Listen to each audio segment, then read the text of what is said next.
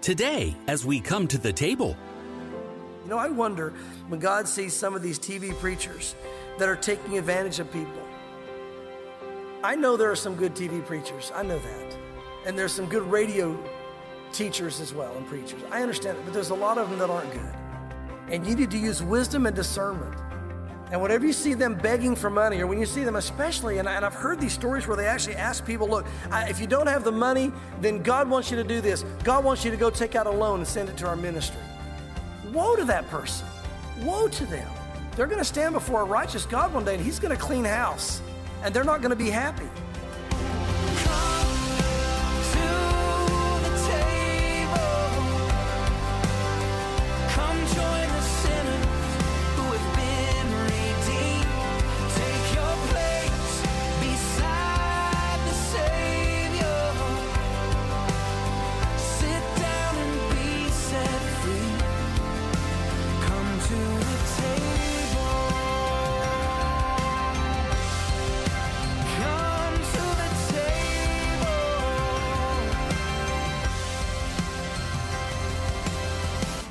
Have you heard people say they don't like going to church because the only thing the church wants is their money? Well, it's true and sad that some churches are taking advantage of people. Sadly, that result is creating anger in the hearts of people who really want to follow God.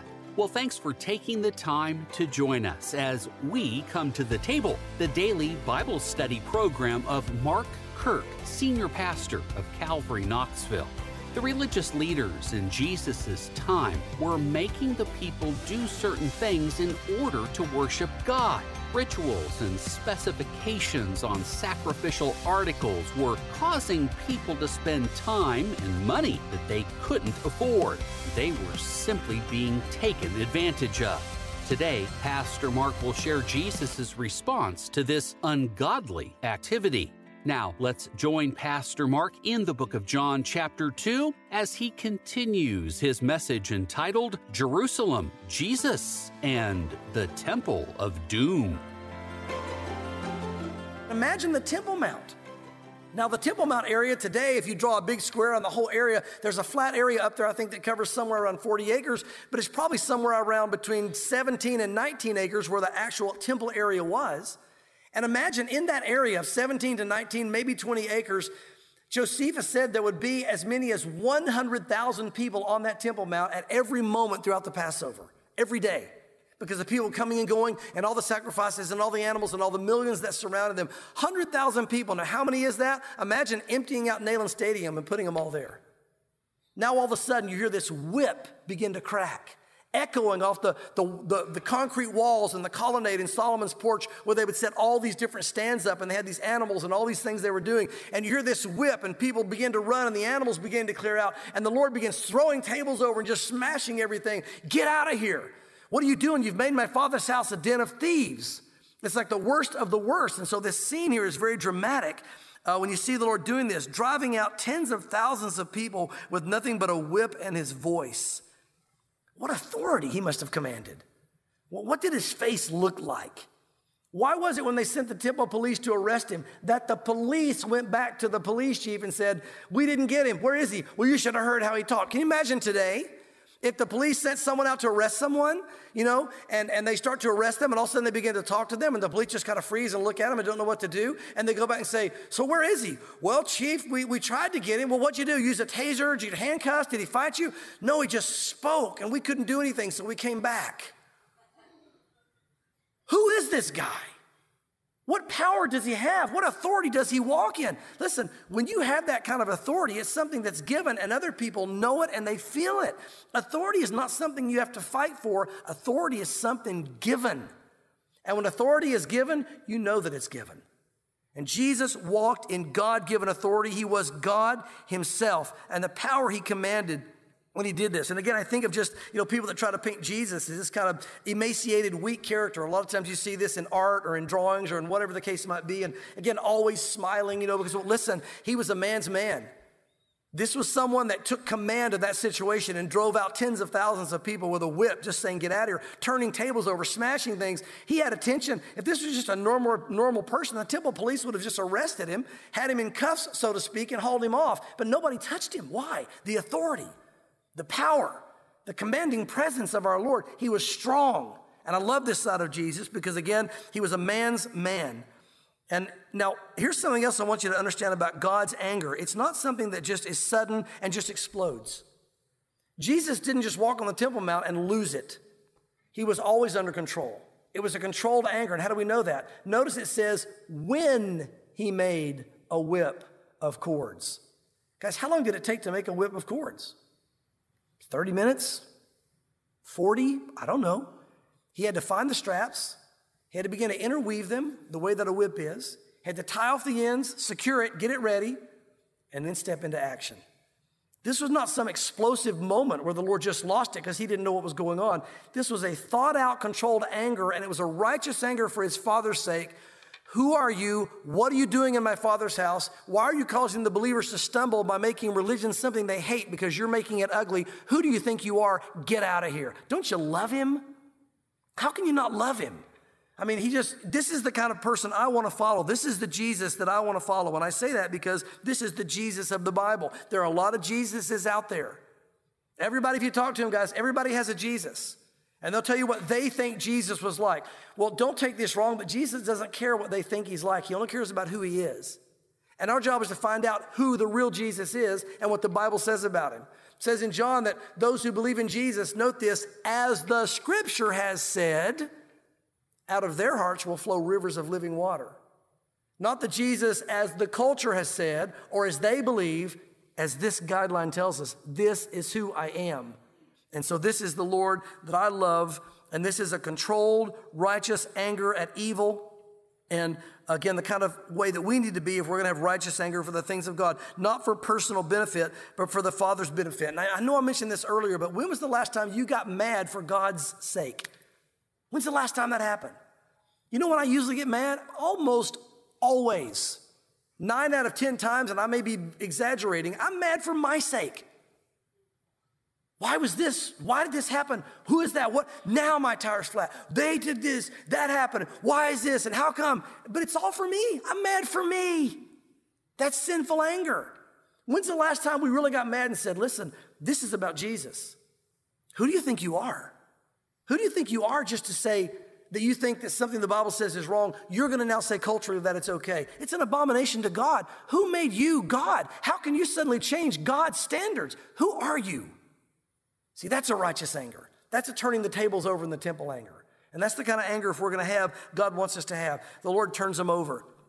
And as he turns them over and runs everyone out, cracking this whip, you know, it says this, says, and he said to those, verse 16, who sold the doves. Now note that, that's key. Take these things away. Do not make my father's house a house of merchandise. It's a den of thieves, he mentions in another passage. In this particular one, he calls it a place of merchandise. So he said both. You've made my house a den of thieves. Now he gets, another gospel tells us, now he gets over here to these guys selling the doves and says, You've made my father's house a place of merchandise. Why the place of the doves? Why the doves specifically did he stop and, and actually speak to them directly? Because, guys, this was the most egregious. Why? The dove was what was sold to the poor person who didn't have the money to buy the normal sacrifice. You were to bring a lamb. If you couldn't afford a lamb, you would buy an inexpensive dove. And the point was, they not only were taking advantage of those who had some money, they were taking advantage of those who didn't have any money. And if they wanted to worship the Lord, they had to be taken advantage of by buying these doves at these exorbitant prices, probably saving up most everything they had just to live on after traveling that long distance to be able to carry out the sacrifices on the Temple Mount. Now you know why the Lord was so mad. And now you know why I love him so much, and I know why you love him so much. Because he takes up for those who can't take up for themselves, the poor and the weak. And the Lord stopped specifically and said, What do you think you're doing? I love it.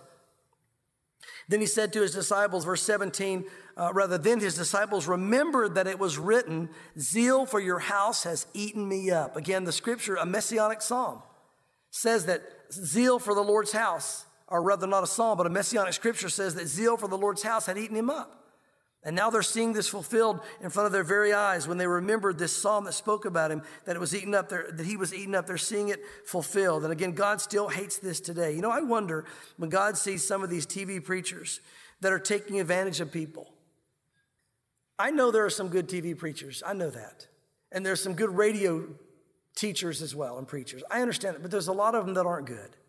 And you need to use wisdom and discernment and whenever you see them begging for money, or when you see them especially, and, and I've heard these stories where they actually ask people, look, I, if you don't have the money, then God wants you to do this. God wants you to go take out a loan and send it to our ministry. Woe to that person. Woe to them. They're going to stand before a righteous God one day, and He's going to clean house. And they're not going to be happy because they're taking advantage of God's people, God's little sheepies, especially the ones that don't have any money. Those pastors should be sending money to those poor people, not taking it from them because they've got enough to live on, quite certain, quite obviously. But the bottom line is, is that you see why the Lord hates this. And so he deals with it in a very firm way. You know, it's interesting. One of the things you would do at the Passover, one of the requirements of the Passover is you had to clear your house out of all leaven. Everything leaven had to be gone. So you removed all the leaven from your house, and they would clear everything out. Why? Because leaven in Scripture was a picture of evil, of sin. So you were to clear everything out of your house to show, eh, literally, to show symbolically, you were, you were also clearing everything out of your heart so you'd be clean before God. I, Tracy talks about this. There was this Jewish lady in Santa Fe that hired Tracy to come clean her house of all the leaven when it came to Passover. So she'd go in there for the feast. She had to remove everything, you know, move the couches, move all the stuff, get all the leaven out of the house so she wouldn't have any leaven in her house. And so there was a literal thing about this. This is Jesus now clearing his father's house of all the leaven. They didn't clear it themselves. They were supposed to, but they didn't. So Jesus went in and started turning tables over. He said, You didn't get the leaven out of this house? He said, Now you get out of this house. And if we don't get the leaven out of our house, out of the heart of our home, then we don't have a place with the Lord in the kingdom. We've got to deal with it. And so there's a lot of representation and symbolic things going on here as the Lord did this. And the Lord was basically doing what the religious leaders had refused to do. He's cleaning house. I love it. So notice this the Jews answered him there in verse 18 and said to him, What sign do you show us since you do these things? Now, again, notice they didn't say, Hey, what you're doing is wrong. Stop what you're doing, it's wrong. They didn't say that because they knew it was wrong. They knew in their heart what they were doing was wrong. But they wanted a sign. Who gives you the authority? Where, how can you come in here and just kick people out like you own the place? Like, you know, like this is yours or whatever, you know? it's interestingly enough, as we know it was. He created it all. It was his father's, it was his. Again, can you imagine coming home to your house and finding a bunch of people after vacation in your house, you know, and they're in there and they have stuff set up everywhere and there's stuff, there's porno over here and there's like, you know, booze over here and there's all kinds of things going And you come in your house and what are you doing? Who are you people? Get out of my home, right? Again, this is exactly how Jesus felt when he walked on the temple. He said, This is my home. This is to be holy for my God. This is where God's Spirit is going to move among the nations. And look what you've done to it. So, what sign will you show us? Again, asking for a sign, and Jesus is going to give him the best, the best sign, his death and resurrection, showing that he's God. Listen what he says. And Jesus answered and said to them, Destroy this temple, and I believe he said it that way. Destroy this temple, and in three days I will raise it up. Again, what was he talking about? He was talking about his body, the temple of his body. Look what it says in 21. But he was speaking of the temple of his body. Now, they couldn't hear this because they were thinking fleshly. They're thinking physical. They're thinking whatever. And Jesus often used physical pictures to, to bring a spiritual truth to bear, but they couldn't see what he was saying. And that's why I think he emphasized you destroy this body and I'll raise it up in three days. I'll show you that I have the right to do this. I am God Almighty. And I'm one with the Father who is my Father, and you're defiling his house. And I'm going to show it by my death and by my resurrection. And by the way, there's no greater sign that Jesus was who he said he was than by his death and resurrection. You know, people oftentimes want to see a miracle, prove that you're this or whatever. They always tempted Jesus with that. What greater proof could you have than someone die and raise from the dead? And Jesus did that. And over 500 people saw him after he raised from the dead, the scripture says. And they were still alive when Paul wrote that. Which means if it wasn't true, they could have come forward and said, Where are those 500? They didn't see him. No, they said, Yeah, we did see him. He rose from the dead. He's alive, and we saw him. And so he says, That's going to be the sign you're going to get. And notice this Jesus answered and said to them, Destroy the temple, in, this, in three days I'll raise it up. Verse 20, then the Jews said, It's taken 46 years to build this temple, and you'll raise it up in three days? Again, remember, Herod was doing a major upgrade on the temple. And they'd been working on the temple now for 46 years. The basic structure of the temple was in place, but they were building it up and making it this amazing world, you know, a draw, if you will, this, this world of wonder. As Herod was working on it, he says, We've been doing this 46 years. You say tear it down, you'll raise it up in three days. But again, because they didn't understand what he was saying, because they weren't thinking spiritually and they couldn't understand him. So they didn't know what to say here as far as didn't or didn't know how to grasp what he was saying. But notice it says he was speaking of the temple of his body there in verse 21. And therefore, when he had risen from the dead, his disciples remembered that he had said this to them, and they believed the scripture and the word which Jesus had said. Now, this is interesting that they remembered after he resurrected from the dead, and then they believed. Remember, the disciples didn't even believe in the resurrection until after Jesus resurrected. He told them numerous times over and over, I'm going to die and then I'm going to resurrect. And they still didn't believe it until he resurrected. He had died and resurrected, and they're hiding in the upper room, still weeping because he's gone and afraid of the Jewish, you know, uh, religious leaders.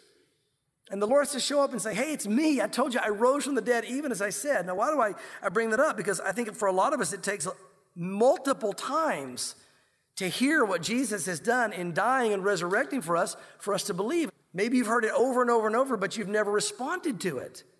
That works perfectly into the next few verses because notice what happens.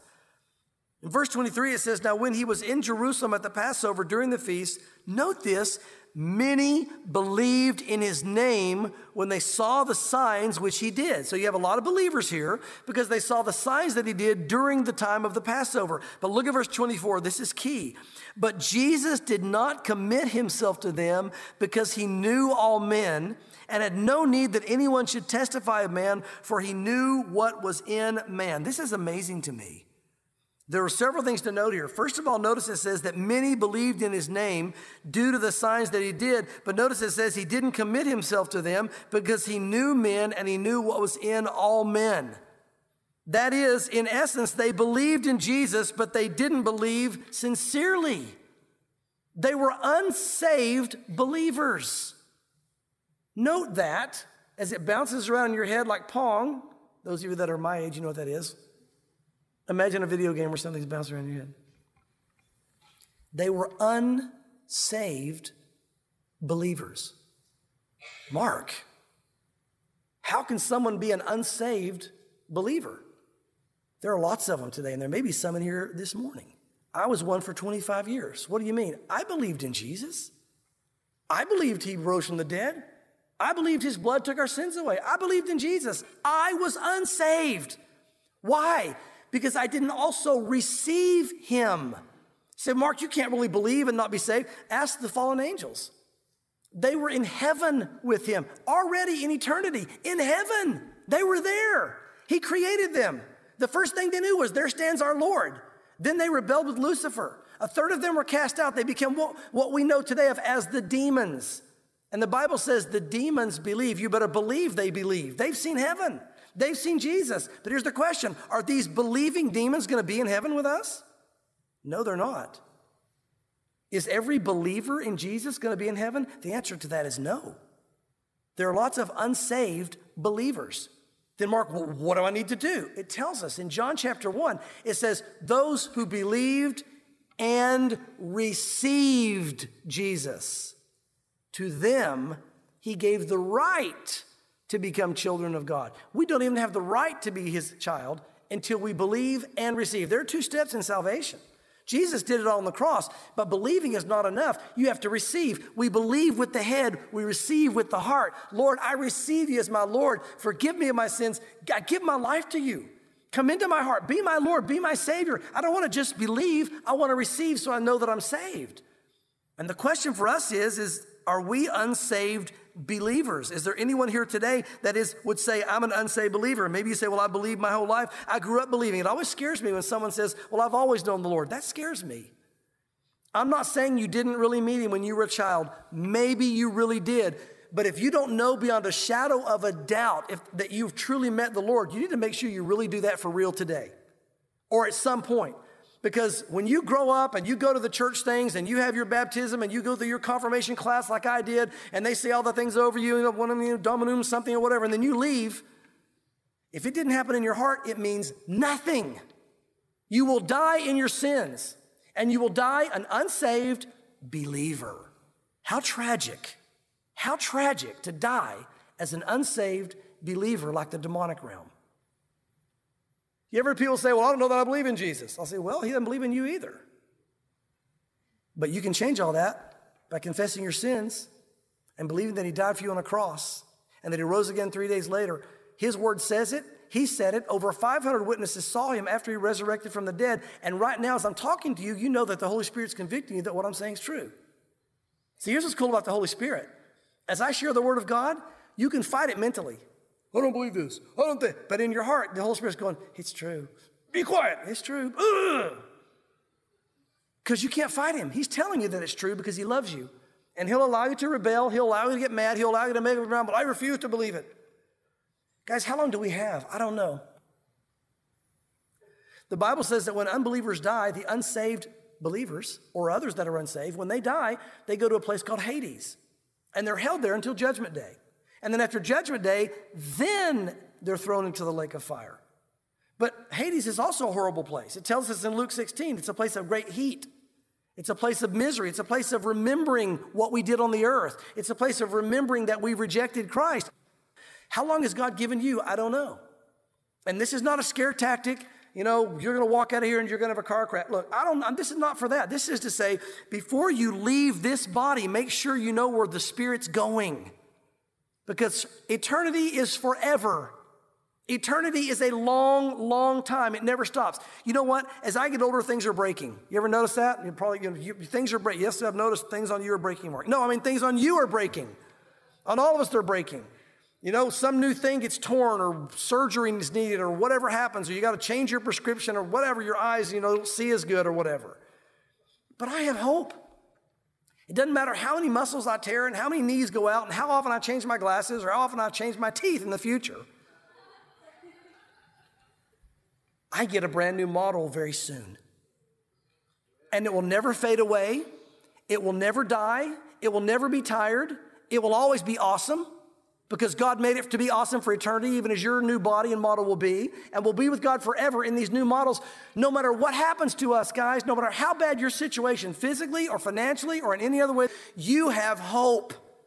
You have hope because of Jesus. It's going to be fantastic. This is the worst you're ever going to have it down here on this earth. Now, it may get worse in these bodies, and I'm not saying that. This is the worst, though. On this earth is the worst you're ever going to have it. But if you don't know the Lord, this is the best it'll ever be. You're at the peak. This is heaven.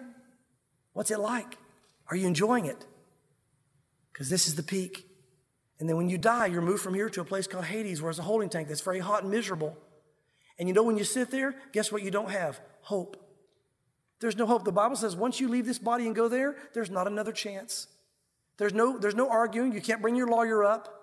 There can't, there's, no, there's nothing you can do. You're there, and then you get transferred to judgment, and you're eternally separated from God. Why do I say this so seriously? Because this is serious. And God wants our temples clean. He wants this temple clean. He wants to make sure that we're right with God. So if you've not done that, again, I make an appeal to you don't put it off.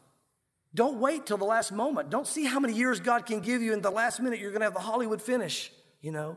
My family's here, and everyone's here, and I'm like 140, and Jesus received me, right, you know. Most of the time, it's just Boom. Where'd they go? They're, they're just gone. They were here one minute. We don't know when we're going, guys. We better be ready. Are you ready? Are you ready?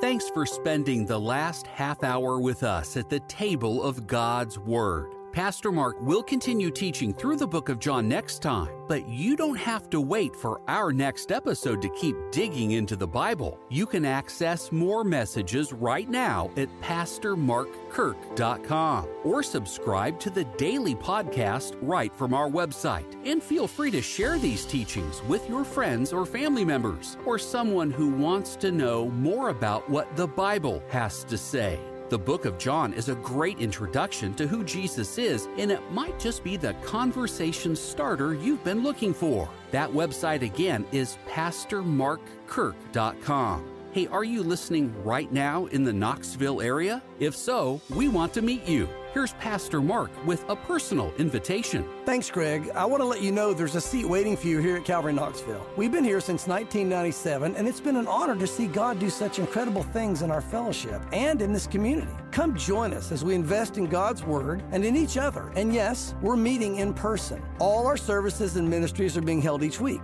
but we're also streaming online for those who can't make it in person. You can find out everything by clicking on the Our Church section at PastorMarkKirk.com. I'm excited to see you this weekend, and I hope you'll join me again the next time we come to the table.